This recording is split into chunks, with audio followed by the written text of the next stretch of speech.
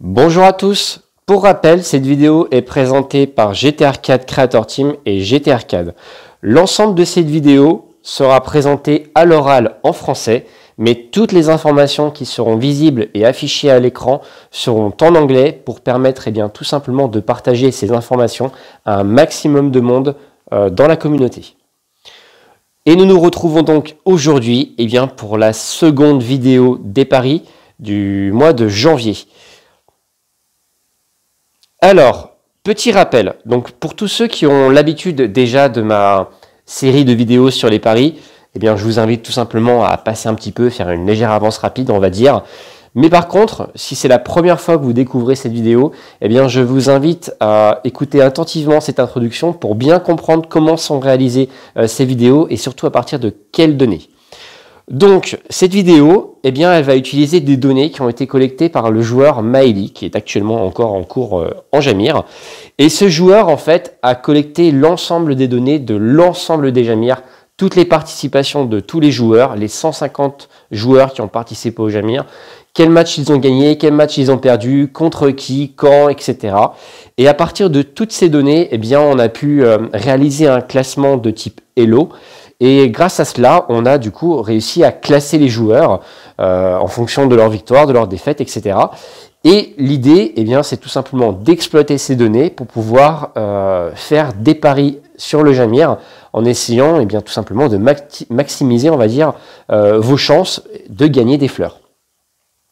Alors, évidemment, c'est quand même aussi important de bien comprendre qu'il ne s'agit que de statistiques et donc comme il ne s'agit que de, statistiques, il y a des choses qu'on ne peut pas prendre en compte, comme par exemple eh bien, euh, les déconnexions des joueurs, évidemment, euh, le temps de préparation qu'ils auront pu accorder. Hein, peut-être que ce soir, certains vont sortir très tard du boulot et ils n'auront pas du tout le temps de, préparer leur match, etc.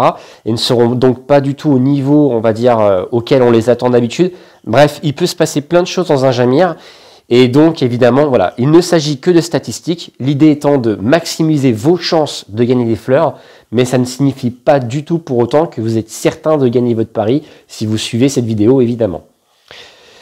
Et aussi, une chose qui est extrêmement importante, eh bien, c'est que si vous avez un joueur que vous aimez, un joueur que vous adorez, un poulain, je vous invite encore une fois et toujours, eh bien, tout simplement à voter pour lui, pour l'encourager. C'est le choix du cœur, c'est important. Ça va vous permettre de euh, mettre en avant que vous appréciez ce joueur. Lui, ça lui fera un petit peu du bien aussi de voir que certains joueurs croient en lui.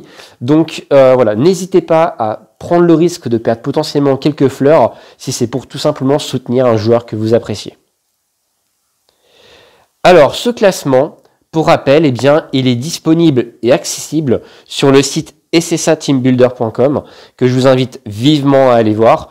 Vous retrouverez donc toutes les informations dont je vous ai parlé, quel est le classement des joueurs, quel est leur classement Elo, combien de matchs ils ont gagné, combien de matchs ils ont perdu, combien de participations Jamir ils ont fait, à quel Jamir ils ont participé? Bref, toutes ces informations-là euh, sont disponibles sur ce site et c'est donc à partir de ce classement que je réalise cette vidéo en regardant tout simplement, bah voilà, si on affronte le joueur qui est le deuxième dans le classement par rapport au joueur qui est 32e, eh bien forcément, je vais plutôt dire que c'est surtout le, deuxième euh, qui risque de gagner son match, puisqu'il est tout simplement euh, avec un nombre de points plus important que son adversaire. Voilà un peu le principe de la vidéo. Donc toutes ces informations, vous pouvez les retrouver sur cette page web que je vous invite vivement à aller voir. Euh, c'est vraiment riche en informations et vous y trouverez plein d'autres choses, euh, pas uniquement des données concernant Jamir. Donc n'hésitez pas, allez jeter un œil à cette page.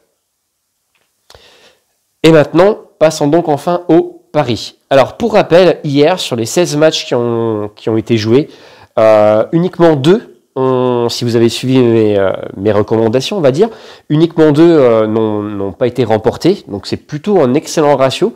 Euh, normalement, hier, vous avez quand même pu maximiser pas mal vos, gains de fleurs. Donc, c'est plutôt sympa. Et j'espère donc qu'on aura la même chose euh, ce soir.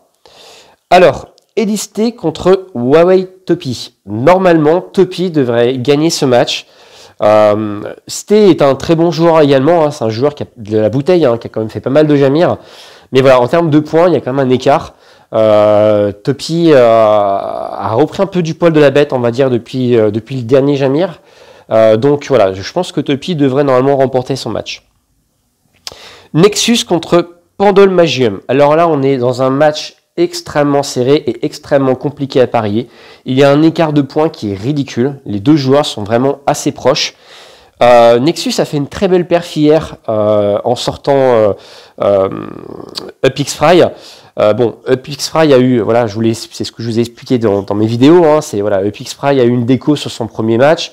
le deuxième, ça a freeze. Et le troisième, voilà, il était tout simplement plus dedans, ce qui peut se comprendre. Hein quand vous perdez euh, un match sur une déco puis une deuxième sur un freeze, bon, voilà. Donc je ne lui fais, je ne, te donne pas des excuses et je ne rabaisse pas du tout la performance de Nexus, mais voilà, c'est juste un, comment dire, un exemple, euh, et bien que parfois on peut avoir des surprises sur les paris Jamir, euh, tout simplement parce que euh, voilà, il y a des problèmes de connexion, il y a des choses comme ça qui peuvent arriver durant le match. Et donc voilà, Nexus en tout cas a remporté son match hier. il a fait une belle perf faut le reconnaître, qu'il a quand même sorti un gros joueur, peut-être avec un peu de chance, peut-être qu'il n'aurait pas gagné s'il n'y avait pas eu tous ces problèmes de connexion. Peut-être, c'est vrai, on ne sait pas. Mais bon, c'est comme ça, il est passé. Euh, donc, euh, je pense qu'il a ses chances du coup de, gagner contre euh, pendant le Magien. Miley contre Galapix. Alors, Miley a une légère avance en termes de points, a aussi un poil plus d'expérience en jamière tout de même. Donc, je pense que Miley devrait normalement remporter son match contre Galapix. Ça reste un pari assez risqué, on peut toujours avoir des surprises, mais en théorie, Miley devrait remporter son match. Almes contre Papa 3. Eh bien, on est un petit peu dans la même chose. On est face à deux très bons joueurs, deux très gros joueurs avec pas mal d'expérience dans le Jamir qui ont tous les deux évidemment été assez loin dans le Jamir. Euh, Papa 3 l'a déjà remporté, euh, il a même remporté le World le, mois dernier. Euh, Almez, eh bien, lui a déjà fait des très belles perfs, dont son entrée en Jamir. Hein. il avait euh, sorti, il m'avait sorti, il avait sorti Fakir et il avait perdu 2-3 face à Degen. Donc c'est quand même voilà un joueur très solide qui a pas fait énormément de Jamir, mais à chaque fois qu'il a été présent, euh, voilà, il a quand même marqué les esprits, euh, même si sur le dernier, je l'ai sorti au premier tour. Euh, je l'ai sorti après un match extrêmement compliqué et extrêmement serré. voilà, donc c'est un joueur très très solide. Papa 3 devrait gagner, mais voilà, c'est quand même un peu risqué encore pour Papa, et je pense que Papa va y aller prudemment face à Almez. Zouf contre Buzz l'éclair. Alors tout d'abord, eh bien bravo à Zouf qui a sorti mon ancien compte. Euh, félicitations à toi, ami. Et euh, eh bien, il est face à Buzz l'éclair. Donc Buzz l'éclair qui est rentré dans le Jamir le mois dernier, qui avait fait une forte impression, euh, qui s'en était très bien sorti, surtout pour voilà pour son premier Jamir, c'était plutôt impressionnant. Il a une très belle boxe, il joue plutôt bien. Euh, je dis plutôt parce que euh, voilà, il faut, voir un peu quand même sur le temps. Euh, on peut faire, il y a plein de joueurs qui peuvent faire un très bon Jamir et puis quatre ou cinq très mauvais derrière. Donc il faut voir un peu avec le temps. Mais je trouve qu'il a un gameplay plutôt intéressant, qu'il fait assez peu de misplay. Donc ça va être un match très tendu, très serré. L'écart de points il est ridicule. J'ai mis Buzz l'éclair vainqueur, mais bon, c'est voilà, vous voyez, Buzz l'éclair il est en rouge, donc Paris extrêmement risqué. Fucking Madrid, donc Cannibal, contre Vendée Pommes, c'est-à-dire le compte de Degen. Donc ce n'est pas Degen qui joue dessus, euh, ce n'est pas non plus euh, euh, notre ami qui jouait dessus le mois dernier, je suis désolé, son pseudo ne revient pas tout de suite, malheureusement. c'est encore un autre joueur qui est, selon moi, un peu moins expérimenté en Jamir. Il en a fait, hein, il a fait quand même plusieurs Jamir, le, le joueur qui joue dessus, mais je dirais pas à à un tel niveau. Euh, pas, il n'a pas été extrêmement très très loin de souvenir euh, dans le Jamir. Donc je, vu le compte qu'il a entre les mains, et vu que c'est quand même tout de même un bon joueur, hein, c'est quand même un joueur qui a fait plusieurs Jamir, euh, on n'est jamais par accident euh, plusieurs fois en Jamir, c'est quand même qu'on a un certain niveau de jeu, euh, ça c'est indéniable. donc je pense quand même qu'il devrait remporter son match, mais ça reste un pari comme extrêmement risqué parce qu'en face c'est Cannibal, c'est pas n'importe qui, c'est un joueur qui joue très bien. ils sont, enfin qui joue très bien, ils sont plusieurs concrètement à jouer avec lui durant son match, donc il y a, y a deux trois cerveaux qui tournent, qui tournent en même temps. Bref, ça va être un match intéressant à regarder, je pense, très serré. Mais normalement, euh, Vendée Pomme devrait le remporter. Pipotia, c'est-à-dire Pipo dur contre Fakir. Alors là, c'est pareil, on a aussi une très très grosse affiche. Euh, Fakir, eh bien voilà, Fakir reste toujours le très grand favori, toujours systématiquement. Ça reste encore le joueur qui est classé numéro 1 euh, actuellement euh, dans, le classement. mais en face de lui, il a, il a. Pipo Dur qui a, remporté un World, hein, le tout premier World, euh, qui a fait quand même des très belles perfs en Jamir. euh, qui a une boxe extrêmement solide. Hein. J'ai eu, la chance, entre guillemets, de le rencontrer qu'une seule fois en pré-qualification. Et clairement, Pipo Dur a une boxe très très solide. Donc euh, ça va être un match très intéressant, très serré. Autrefois, je vous aurais dit, Fakir, c'est systématique, il gagne tout le temps. Et, et maintenant, c'est plus forcément vrai. Hein. On l'a encore vu le mois dernier, hein. il est sorti au second tour.